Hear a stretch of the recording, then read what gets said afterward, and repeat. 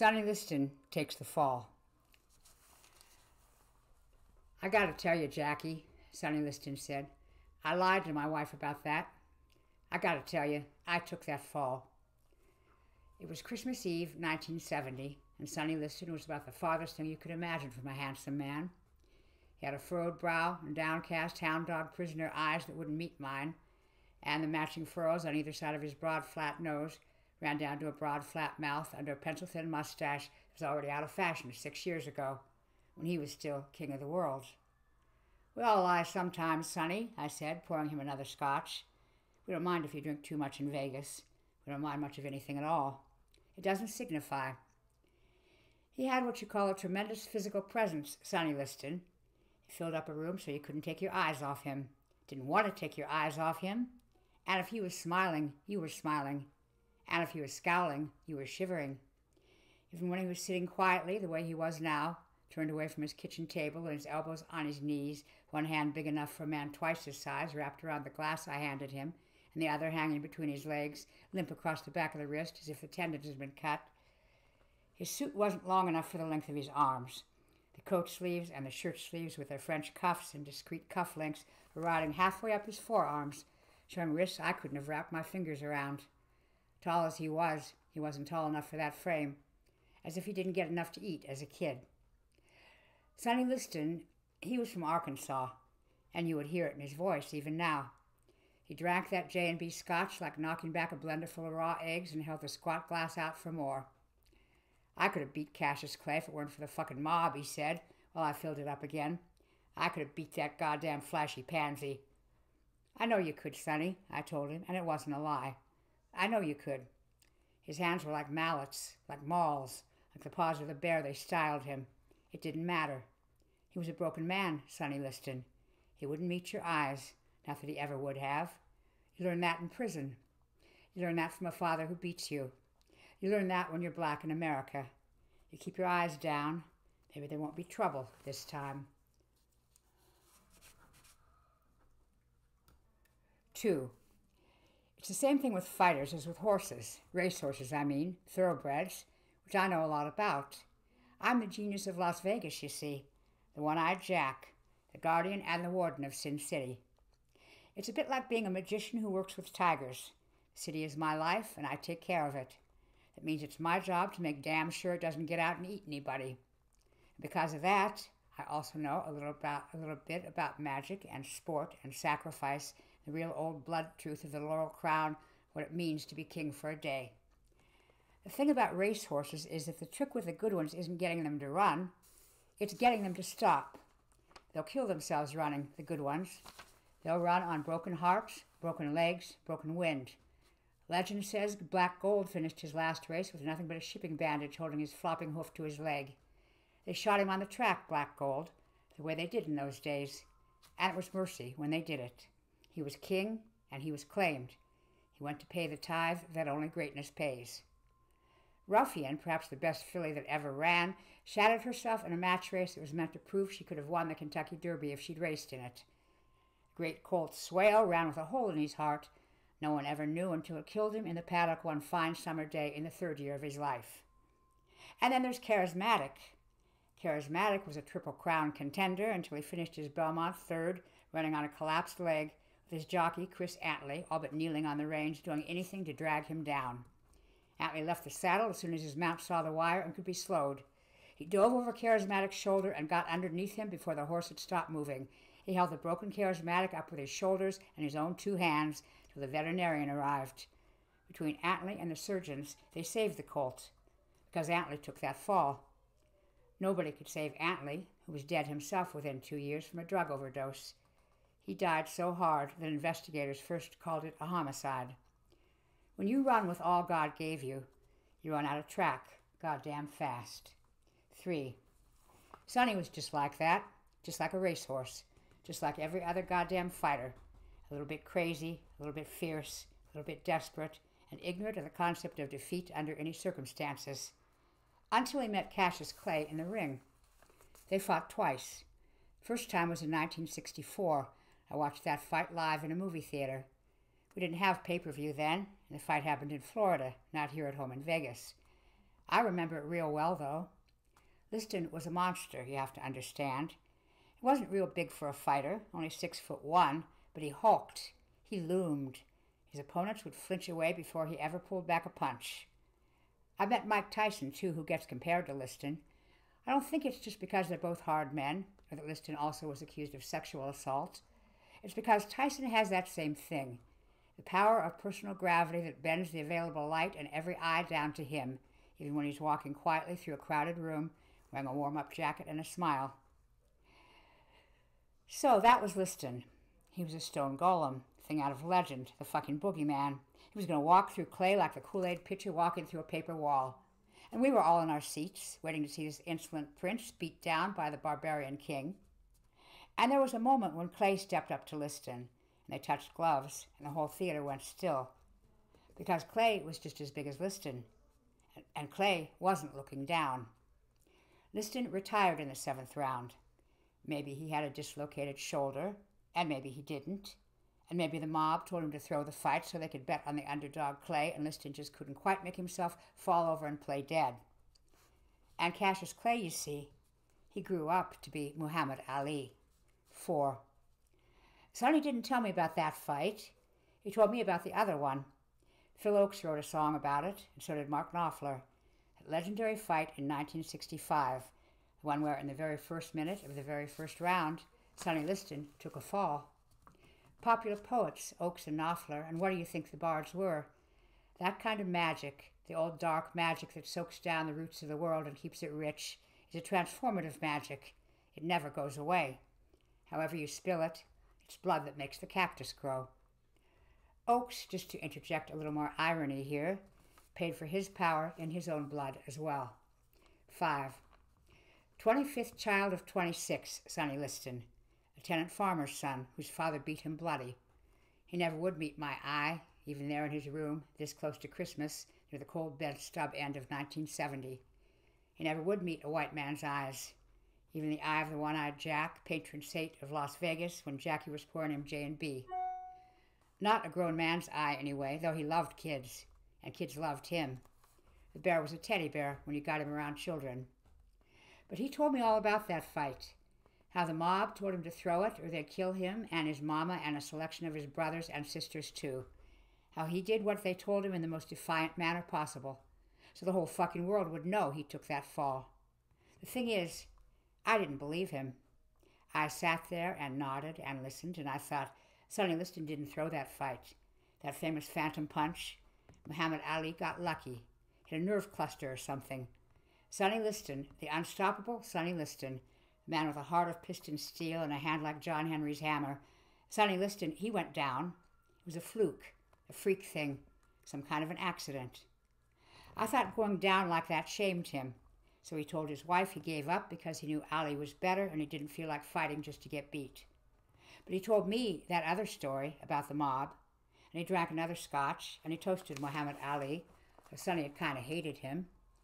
Ali had been barred from fighting from 1967 until just that last year. He was facing a jail term because he wouldn't go and die in Vietnam.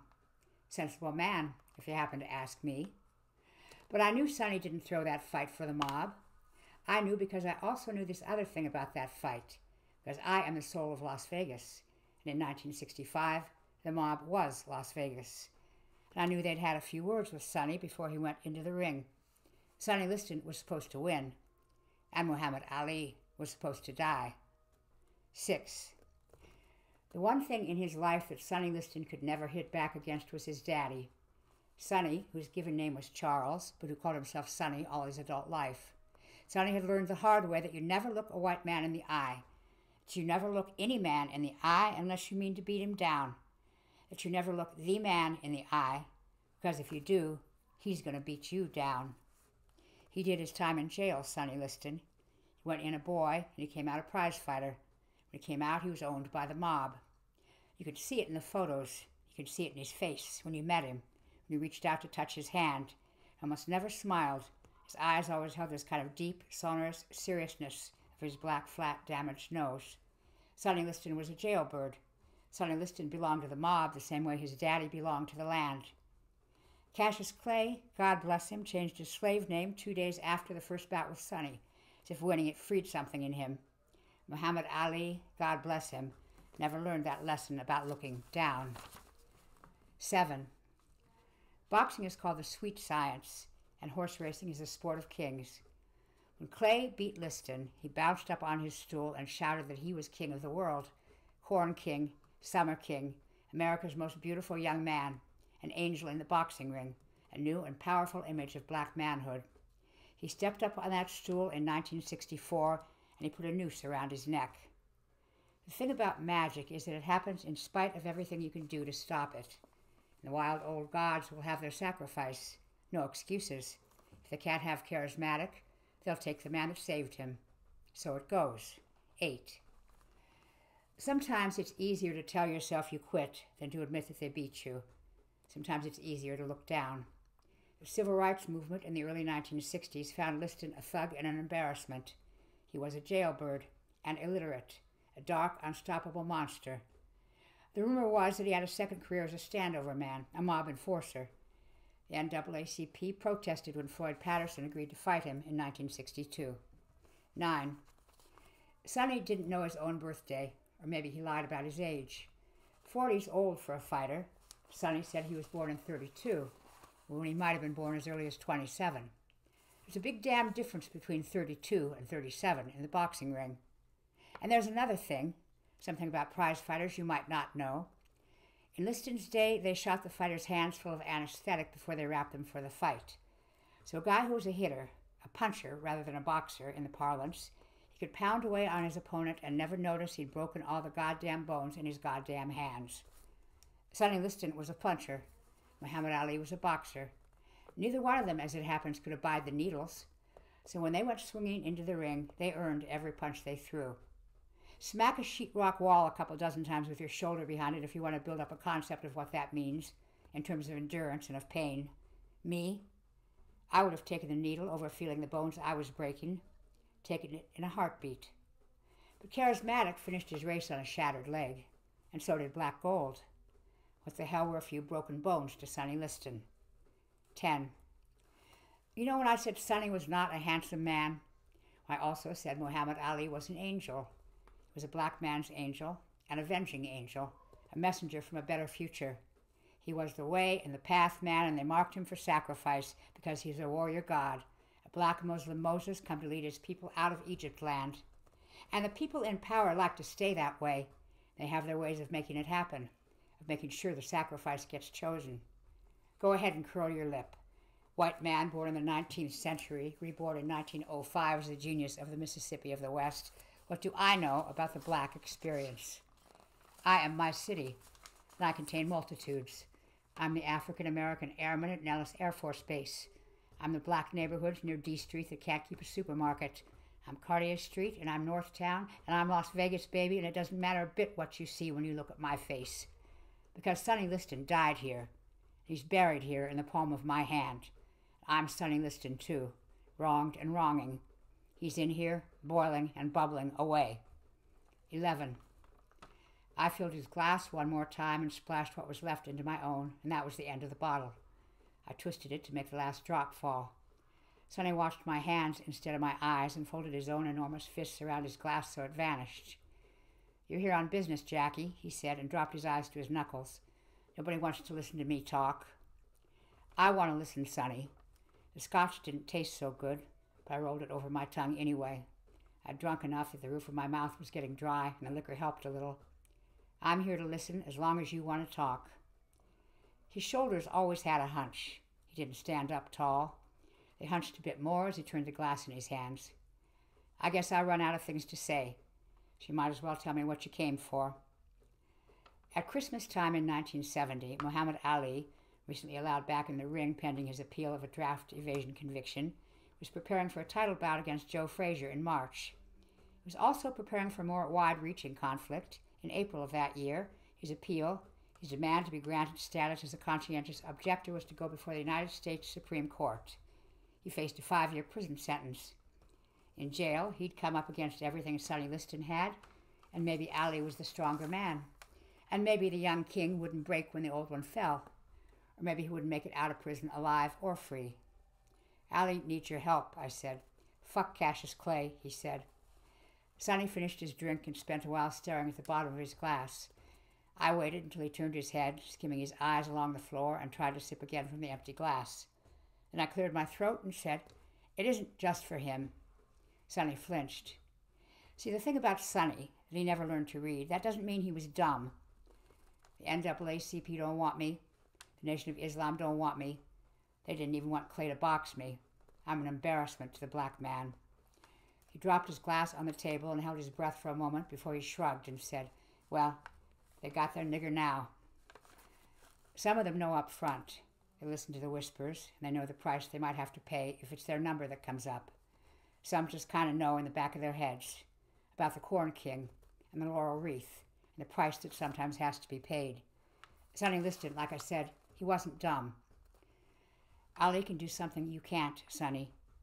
Ali can be a symbol.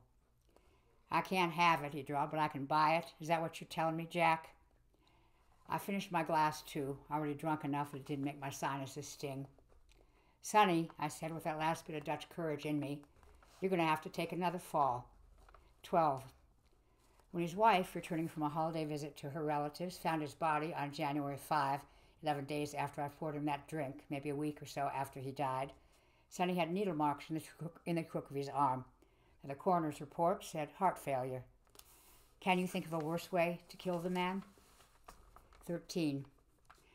On March 8, 1971, a, public, a publicly reviled Muhammad Ali was defeated by Joe Frazier at Madison Square Garden in New York City in a boxing match billed as the fight of the century. Ali had been vilified in the press as a black Muslim, a religious and political radical, a black man who wouldn't look down.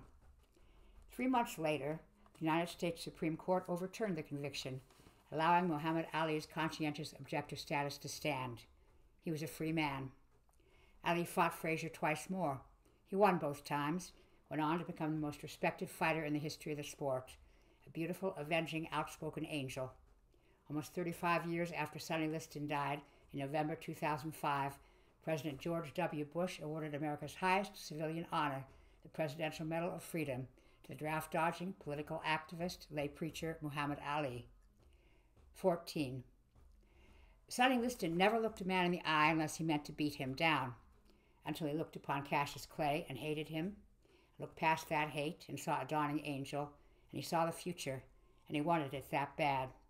Wanted it bad, Sonny Liston, illiterate jailbird and fighter and standover man. Sonny Liston, the drunk, the sex offender. Broken, brutal Sonny Liston, with the scars on his face from St. Louis cops beating a confession from him, with the scars on his back from his daddy beating him down on the farm. Sonny Liston, who loved children. He wanted that thing, and he knew it could never be his. Wanted it and saw a way to make it happen for somebody else. 15.